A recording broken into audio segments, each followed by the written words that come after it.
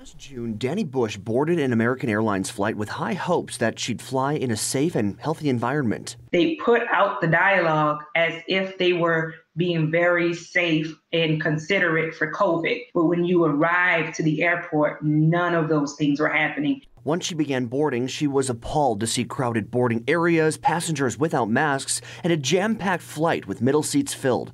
Her 20 year old son has a suppressed immune system, so she takes social distancing very seriously. Had anxiety the entire flight. Since Danny's flight, American Airlines says it has tightened its requirements for face coverings and now prohibits anyone over the age of two from flying without a mask. While some airlines make mask wearing mandatory and are blocking off middle seats, Consumer Reports has found airlines' COVID precautions are all over the map.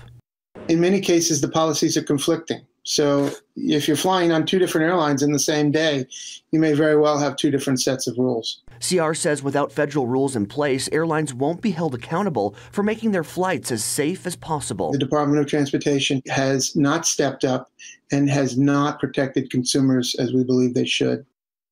In the meantime, if you must fly, here's what you can do now to keep yourself safe. Before you book, contact the airline and ask if they guarantee empty middle seats and how strictly it enforces mask wearing. Pack a go bag with extra masks, hand sanitizer, and sanitizing wipes. When you board, clean your space, wipe down the area around you, even the air nozzle above, and blast that air from the nozzle directly onto your face for the entire flight.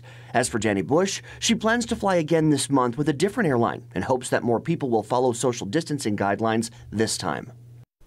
One expert told Consumer Reports the safest place on a plane is the window seat as filtered air comes in right above your head. You'll also have fewer interactions with people passing by you in the aisle, right?